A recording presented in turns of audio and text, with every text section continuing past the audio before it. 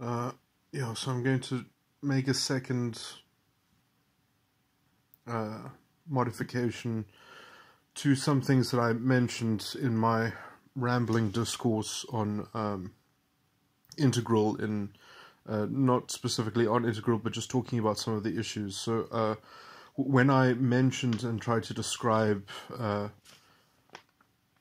a notion about self segregation in terms of cultural space um,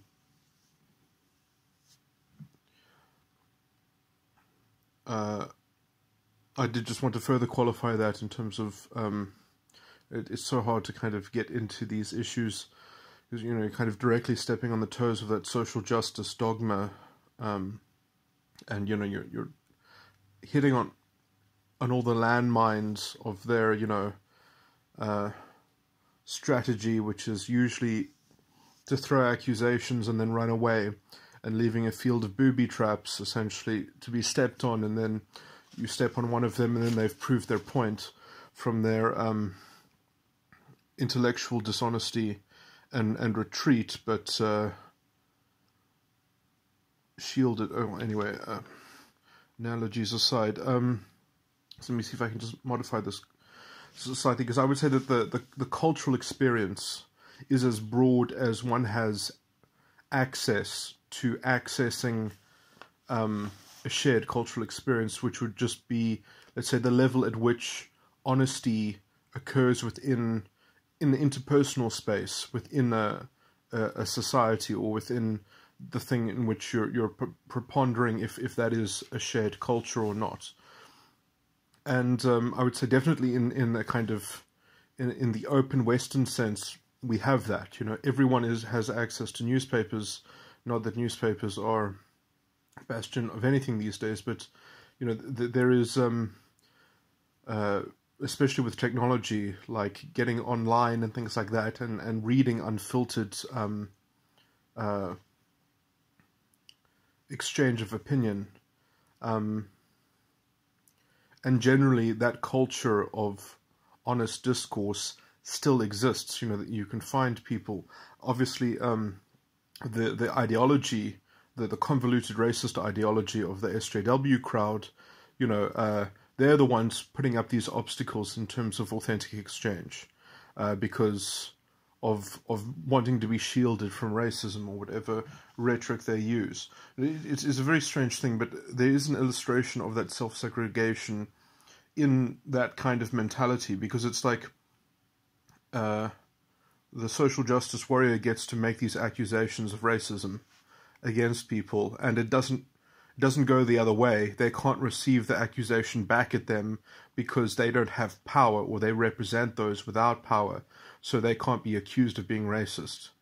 You know, so they've got this kind of objective qualification,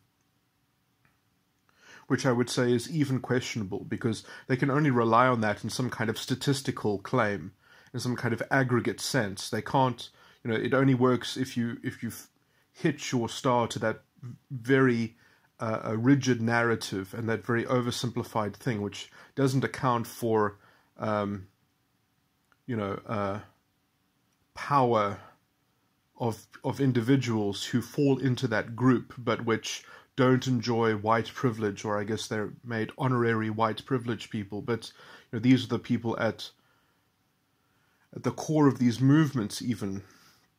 Um, you know, it's, it's quite ironic almost that you find that the most privileged people ever are kind of the the the um, the leaders of of of these institutions that are champions of social justice. You know, it, it's uh, uh, it's it's it's a strange sort of uh, thing where they their success on ideological merit is the vision of of how everything is supposed to be cured or treated and that only through that window of a special dispensation from government power intervening on their group's behalf, which will obviously always find itself concentrated on a minority experience, on on, a, on an elite experience that uh, that can never be um, scaled to the whole of a society because there isn't enough zero sum pie to go around, and because they're sort of that is the only solution that they have because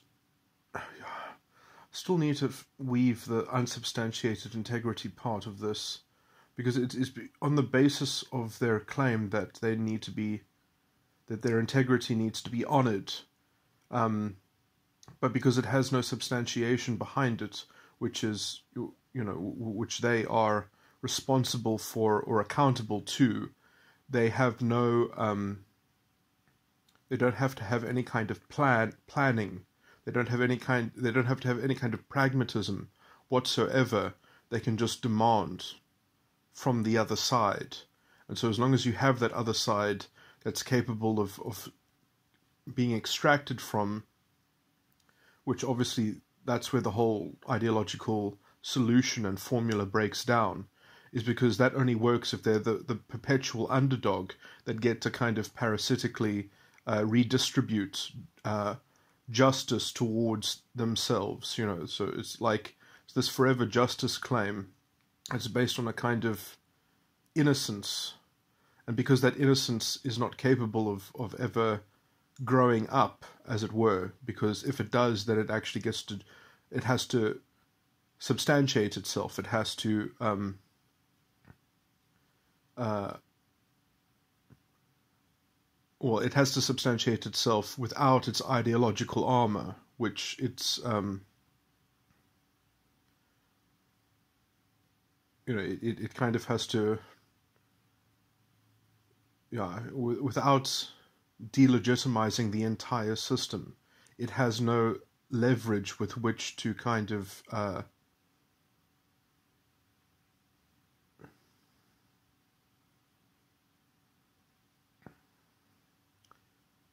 uh,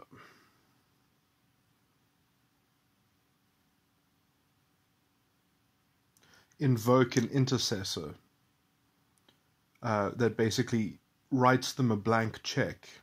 So th- this is the problem: is that because the check is blank, because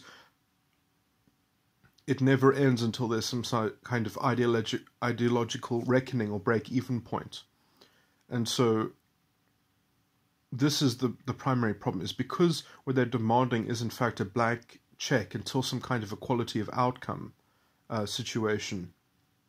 They can take that black check, blank check and be as exploitative and corrupt as possible and destabilizing of the entire functioning of the system, which makes, let's just say, that whatever credit is on that blank blank check, it it ends up devaluing it, you know, and so this blank check essentially becomes um, it conceals the, the political exploitation and it implies an endless kind of political exploitation and because it's unsubstantiated, there there is no corresponding sense of accountability um, in terms of how uh, how effectively it is utilized. The blank check is utilized. So it's just the point is just to write the blank check, um, and that the blank check must be written, and that's the end of the exchange between the groups, and and that is is what uh, the the presupposition of the ideological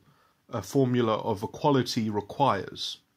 And so, um, okay, so this is getting really into this is tangential, I guess, but um,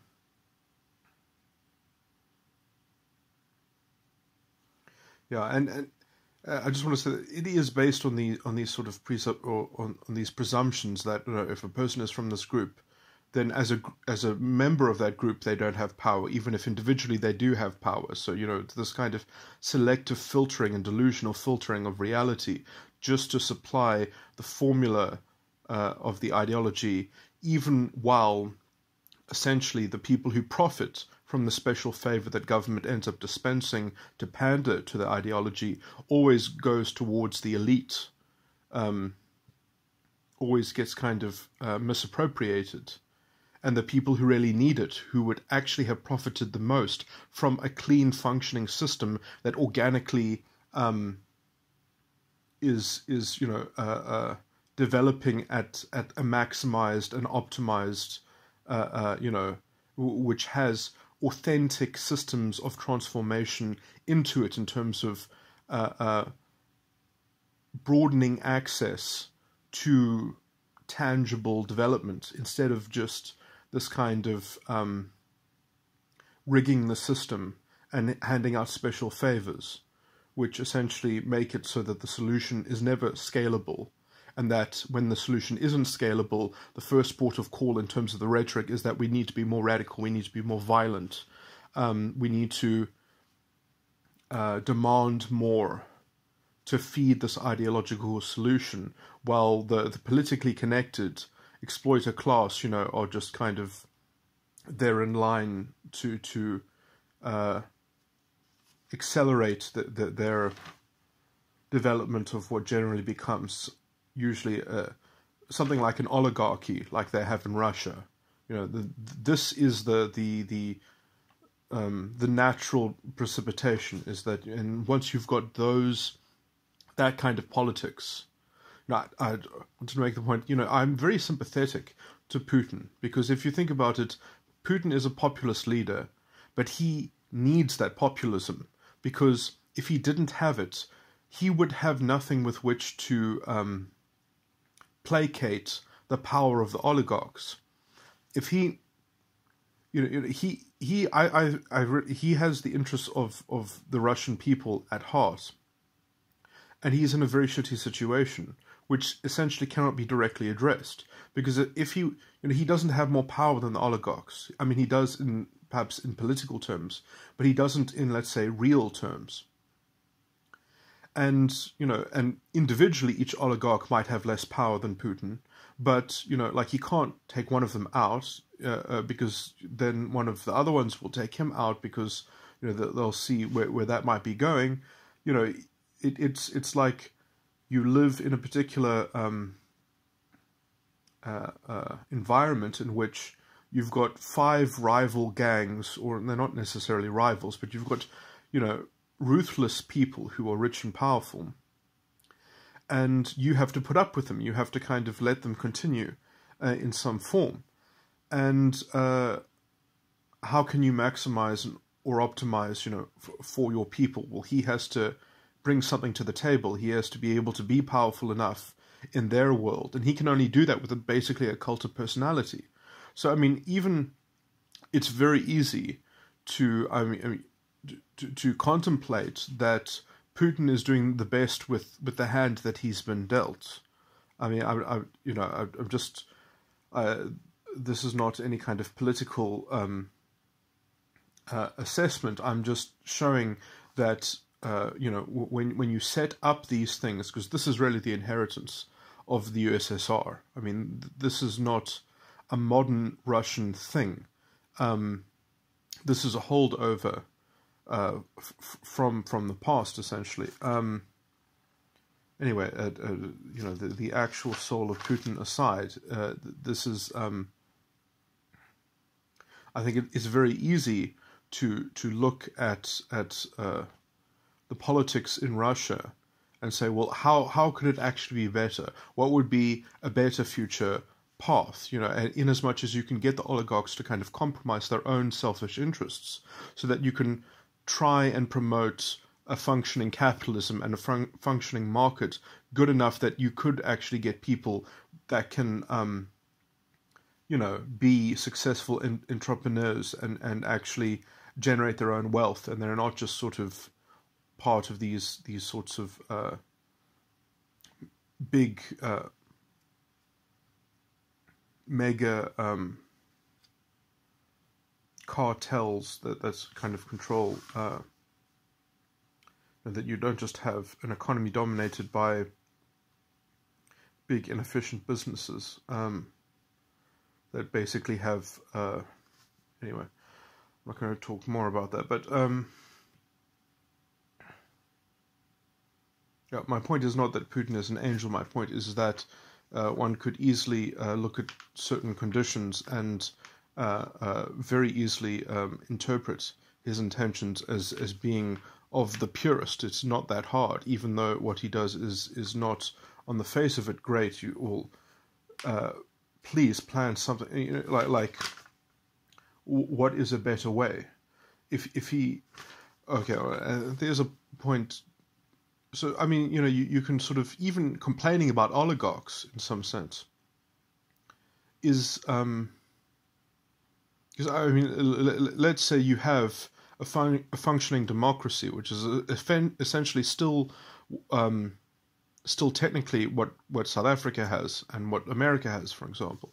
Um, but you know, even if you have a functioning democracy, you still have to kind of placate the masses to take uh, accountability as an electorate uh, for the government that they receive. If they're not willing to be responsible for having elected the government that they have elected and, and for receiving the governance that they are receiving, you know, effectively you are at the mercy of of the kind of populist uh, sentiments of just wanting to kind of externalize all blame onto some conspiracy theory. You know how easy it is to complain about powerful people when you know uh,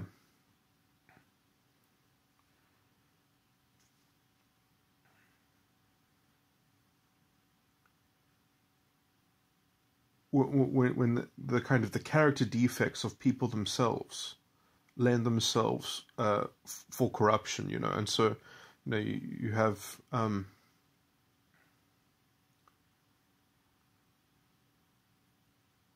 so even if you do have uh, somewhat of, of a of a of a well functioning democracy, you still have that kind of intrinsic uh, uh, systemic problem essentially of politicians who promise things and essentially you're selling your children into a worse economic situation. You're, you're undercutting long term prospects just to kind of placate to short term um, bargaining. And so, you know, you've got politicians who are effectively um, cannibalizing future generations and they're cannibalizing the the the resource. I mean, I've always thought that they they on on some level there could be um, a constitutional kind of uh, um, you know that someone should stand up for the rights of those not yet born, essentially, um, in curtailing certain things. Um, I mean, economic policy in general. Uh, I mean, but this has to do with a kind of more libertarian or um, uh, sense of, of trying to set up um, the republic as as a as a kind of uh, uh, yeah I, mean that that would have to do with kind of enlarging the role of of or conception of the country as a republic and not so much as a democracy. Um, which you know there would be some uh, constitutional grounds for that, especially with the the substantive um, weight in the constitution. There might even be uh, some ways to compel government to to use very particular policy, which would have a much you know provable outcome in terms of development and transformation, r- rather than you know the, quite the corrupt policy that is designed uh, to to uh, misallocate uh, state resources. Um, that, but I mean that obviously would be a huge curtailment of the executive function by the judiciary. But uh, yeah, uh, doing that might be. I've always thought that the public protector, uh, as an office, could do more with reports that would end up with substantive policy derivation. Uh, uh, but uh, okay, this is all highly t- tangential. I, I, wanted to also add a qualification to another thing that I mentioned, which was about the point of changing culture, which I already uh, made a slight addendum to. Um, this is a second addendum, I guess. I, I just wanted to. You know, this is a very kind of, on some level, it's a metaphysical um, proposition as well in terms of the power of the individual to fully change culture. Um, and and I would just like to say it doesn't even matter. Let's say if you, I first described that how you could have a hand, an individual hand in one person completely changing culture, is that you just kind of militarize certain, um, and I mean this in, in an abstract sense, that that you give people the the the weapons of argument to kind of bring certain resolutions within uh, uh, questions which are in the culture. Um, and then, so as those questions find answers, then new questions are asked, and then you kind of have different thematic things. And I, I was even saying that the substance of those answers isn't the content is not important. What's more important is the thread of how that the process of how to come to answers is itself, let's say, the the more um, vital aspect of culture itself, and at least the evolution of culture and uh, that will end up generating a form much more reliably than just trying to get the right puzzle pieces in place um, in terms of culture. But uh, uh, so I was just going to basically say that you don't even necessarily have to have a hand in the answer itself, so much as you have a framework of understanding the answer, which might not even have to be a popular framework, as long as it's in the mix as long as your framework has a particular um, cultural expression. You know, like you, you you're, you're expressing it, and it it it has a kind of meme quality that it's around in some thematic sense. And so, even as long as it's noticeable, it doesn't have to be the prevailing dominant narrative. It doesn't have to be the prevailing dominant framework. It just has to be in contention, be in the mix. And that means that eventually things have to give a have to offer a, its account to that. Uh, so I mean, like if if you go three or four rounds where your framework is always is never the popular framework, but it's there making sense of things according to its perspective, and it's expressing that perspective in some sense, and it's there as a contrarian voice. Eventually, if it is a winning framework, if it is a useful framework, if it has something to offer, eventually it, you know, essentially builds up something like uh, the antithesis in the context of of um, of Hegel. You know that that it has a kind of um, value in developing that antithesis, uh, which will. You know, I just want to say that it doesn't doesn't it, winning is not becoming the most popular. That is not important because it can still be right on the level of let's just say truth itself. So even if it's unpopular and you're the only person that's contending it, at least then you still have something that's possible to coalesce around. You still have something that's possible to kind of conglomerate people who are interested in organizing um, in the line of that uh, of, of of of of that um,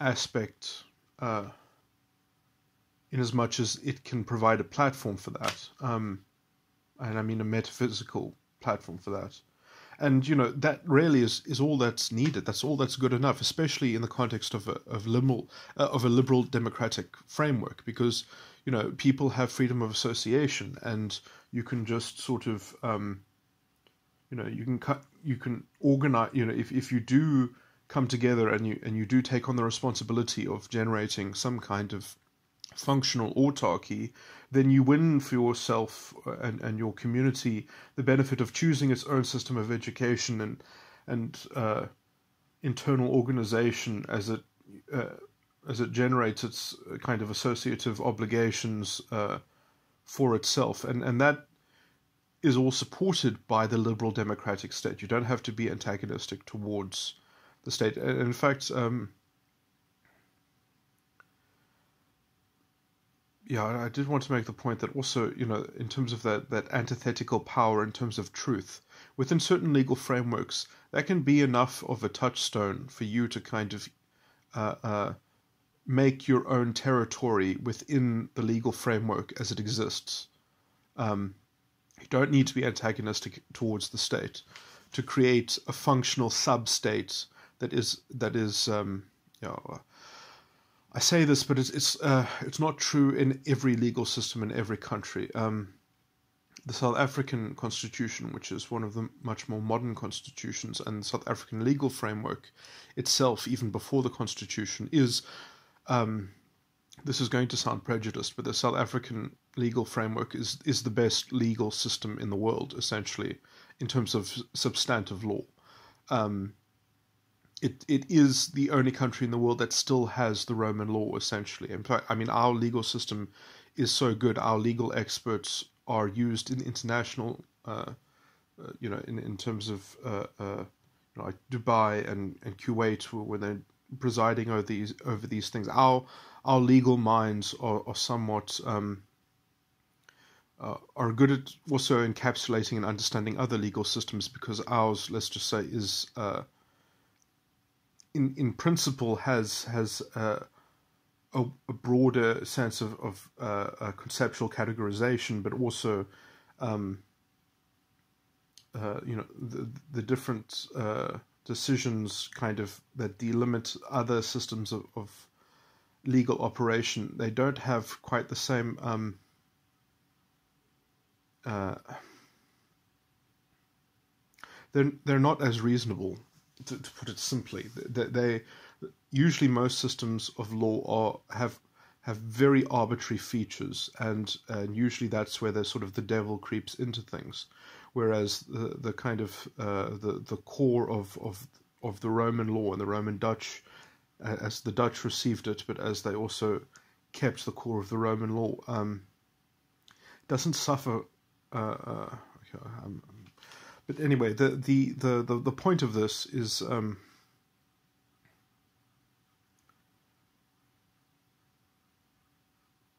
that. Uh,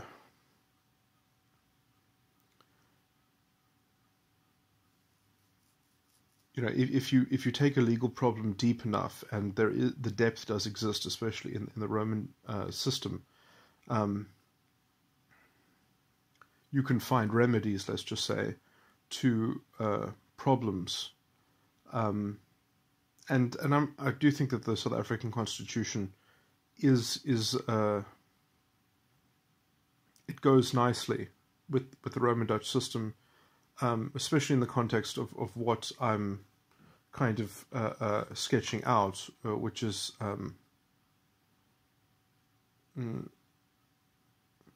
let me just summarize it in three lines. Uh, I mean, in some sense, I'm I'm a left libertarian Marxist, and I don't believe in taking over the state. I don't believe in touching state authority. I think it's an incredibly poisonous thing for, for anything left wing to do. The, the point is, is one should buy one's freedom from the market in setting up some kind of autonomous system. Uh, essentially, uh, capitalism should stay the default. It should never be uh, removed. Um, it should be used as a platform uh, that can be peacefully transcended while preserving it. And in fact, it would be better to preserve it as as a kind of uh, default framework. To you know, if everything else, if you can't negotiate some kind of separate alternative way of dealing with something, you need something to revert to and private property, I think, is the only thing that's going to be able to keep the libertarian instinct intact. And, you know, and especially if, if you are supposedly Marxist or anything and you want to take over the state, I mean, essentially, you've condemned yourself to having to indoctrinate your, your, um, the people who don't agree with you, you know, and you can't end up resolving problems that need to be resolved anyway.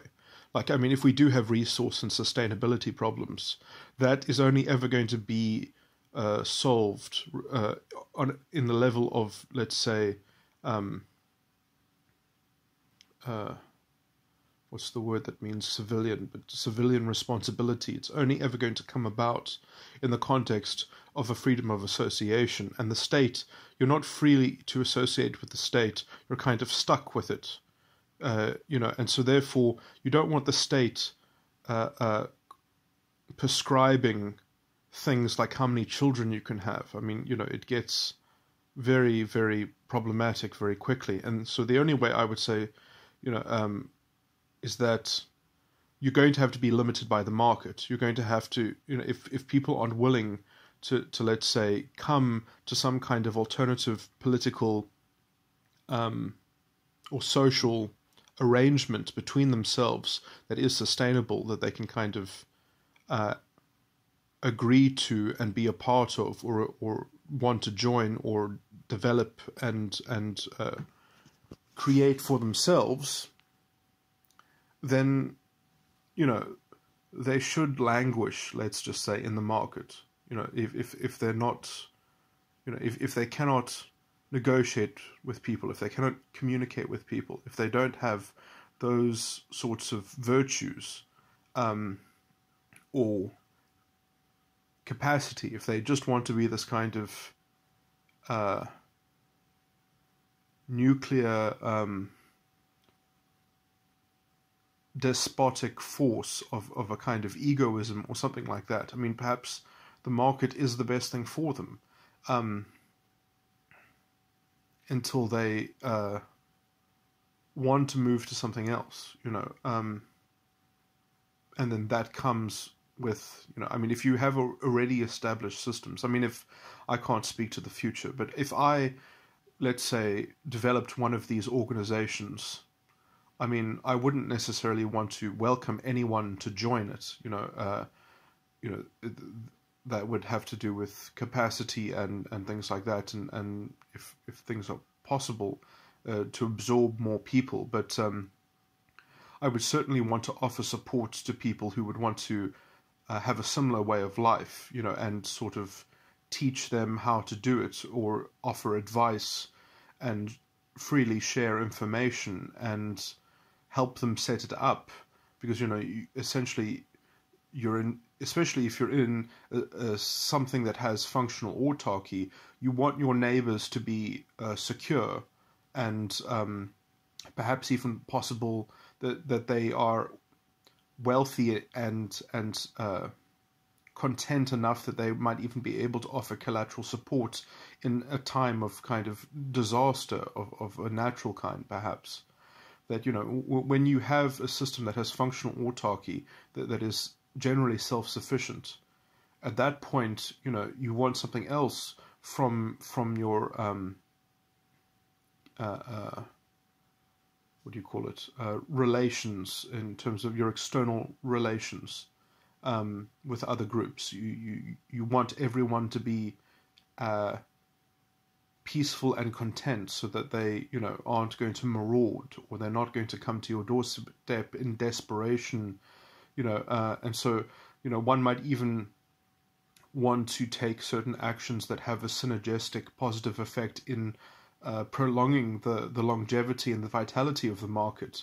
Also, because it might be useful to trade through it. Um, also, because if you have functional autarky, you can do things uh, with the market that could end up being better for both systems. Because essentially, you are the market is somewhat on some systematic level the market is not intelligent but if you have something that let's say is immune to market forces and can choose how it uh, interacts with the market you could end up with a kind of uh, two tier uh, society in some sense or not two tier but uh, two sections you know you could have um, you know because it, effectively it's like a public sector and a private sector, but the public sector is actually uh, governed by um, autonomous uh, uh, sets of people. And, you know, obviously, you know, there's no guarantee in anything. You know, there's no guarantee that some of these autonomous uh, collectives won't be run by idiots or won't be driven into the ground or won't fail for some social, cultural reason uh, you know, uh, or or or that it won't, you know, some government won't won't be aggressive towards it or antagonistic against it, uh, being threatened by it. You know, some kind of old. But I would say, you know, the solution really is just to offer collateral support, in some sense. You know, like acquiesce to being taxed perhaps acquiesce you know if if you if you can absorb it you know until you can sort of work out a peaceful middle road or something like that compromise um,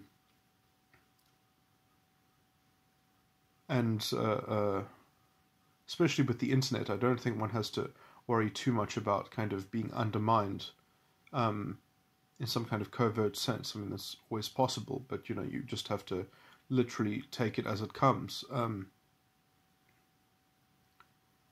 but also, uh, the ideal is that eventually, if you have a good enough model, essentially, you can say, well, we can just absorb unemployed people. We can actually make the market function better because when there's too much of a surplus of something, even like unemployment, it's a huge drag on the market.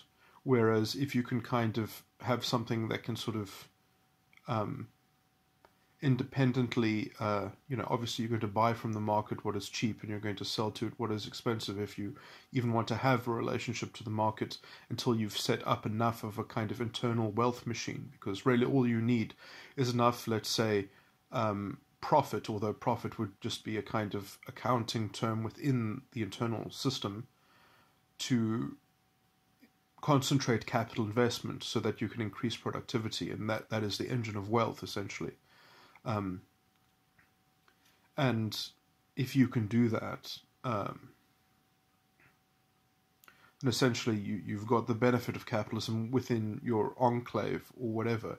The problem is is that how do you organize in a way that is culturally sustainable within such a system? Because although you might have an alternative economic model that let's say allows you to be functionally independent from the market, uh, you know, it's it becomes a different world. People have always, or at least not always, but people have um, related. Uh, you know, everything has been integrated with uh, the market for a while. Status, status is going to be a thing. You know, like uh, this. This is a real problem because you know the idea especially the kind of ideological insanity that was kind of injected into the, the new Marxist model of, of how people conceive of themselves and others. You know, it was that stuff was was very poisonous. Um, yeah, you you need a, a, some kind of psychological knowledge, I would say, or some kind of even that isn't enough. You you you know you perhaps need to even invent a game within the internal organization in which you have a role which you can choose, kind of like an avatar, um, or or or a um, just trying to think of an analogy, but you know, like so you have. If I can't actually think of a game that has different types of uh, interaction in the game, like different like because you get games where everyone is an equal player, but then you get games in which you you have a choice that you can make, and those choices um, I'm just trying. I can't think of a game that has different pieces essentially. So you you at some point you get to choose, and then obviously that choice perhaps should not be permanent. You should be able to revise that choice every two years or something like that. Basically, you take a different package and you can choose which package to take, and it comes with different benefits and different um, a different scope, you know, and so you can kind of game your role in terms of your your access to whatever internal uh, uh, form of direct. Okay, this is this is hugely tangential, but yeah. So I mean, you know, how you set these things up to kind of mimic the the utility that we have in the market because you know people think that oh well currency money is very limiting i mean it, the furthest thing can be from the truth i mean the the reason why people like money. I mean, like if you think about it, no one wants money. They want the things that money can buy. But you know, unless you have an unlimited way of of you know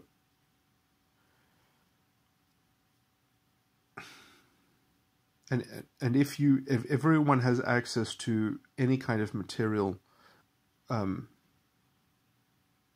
you know if they can get the material needs fulfilled at will, let, let's just say. Uh,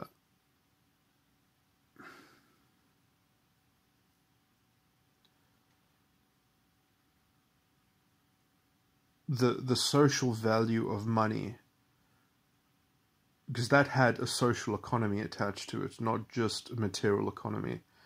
So there's a lot invested in that, which also has to do with status, also perhaps has to do with sexuality. Um, you know, so I would say that you know there are a lot of things why we can't just get there, and a lot of it has to do with um, uh, uh, fe- female exploitation and female privilege. I would say that one of the biggest bars we have to this kind of society is is the kind of um, beta quadra values as they have uh, uh, crystallized in in all the, the dogma that, that that exists within our, our, species at present. You know, which has to do with tribal stuff. It has to do with gender stuff. Um, and you know, if if we can't diagnose these things, um, and even if we can diagnose them, you know, you, you need a way to have them on some level excised, but in, a transparent manner, which means not to repress them, you to actually give them uh, a venue uh, or a vehicle with which to be exhausted. Um,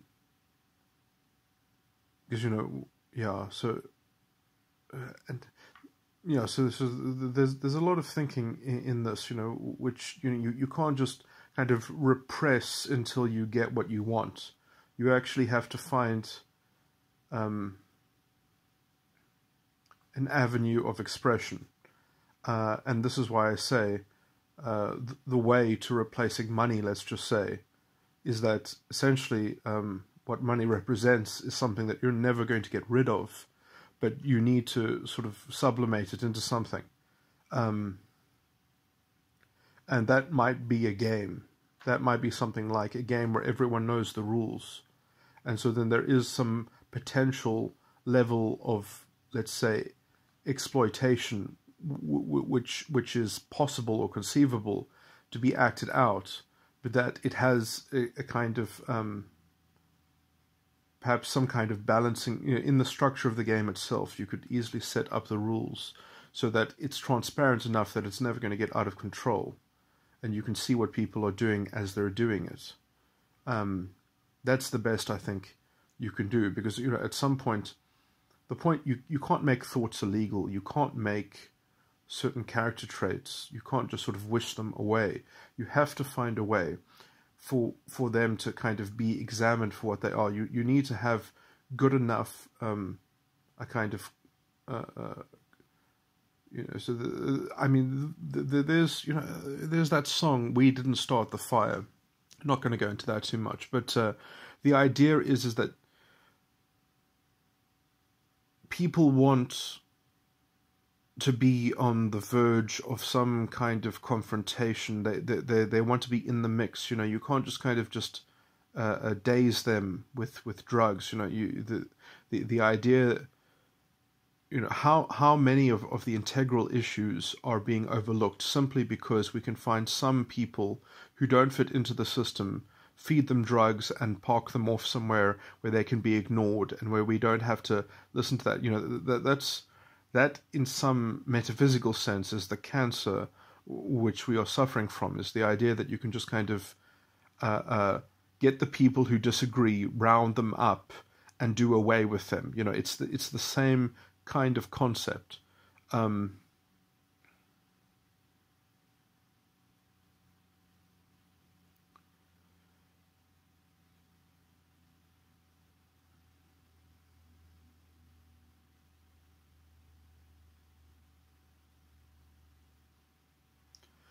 when I illustrate, you know, these illustrations are not uh,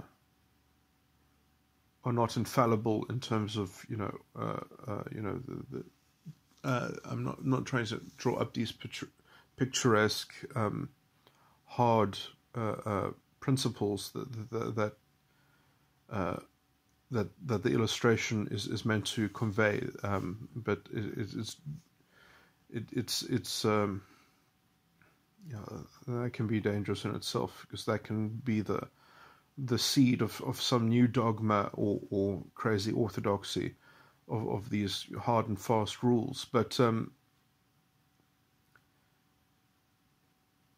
yeah, people want to have their issue dealt with in some sense, you know, and it doesn't help to to sort of be um,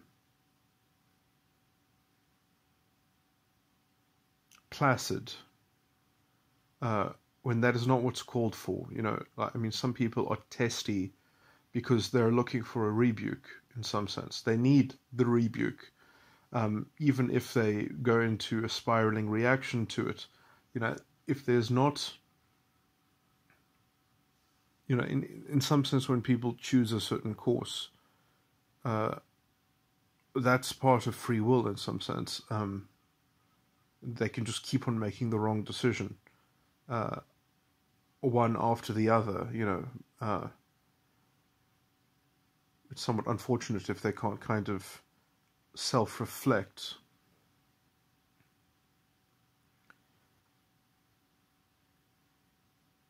And sort of examine the postulates and, and the presuppositions uh,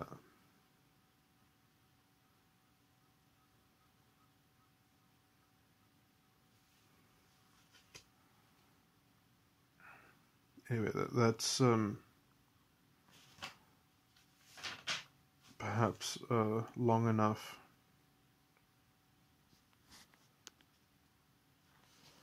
Rant, yeah, at going into things which are. I mean, hopefully these things, this, this kind of uh, dissertation, to call it that, is uh, perhaps relevant and kind of roughly on topic to some things which integral people have floating around in their minds. Um, not that I have I haven't read a book yet. I, I must. Seems that there are quite a few. Perhaps I'll just listen to some more YouTube on it and try to get somewhat more educated uh, on the subject. But um, you.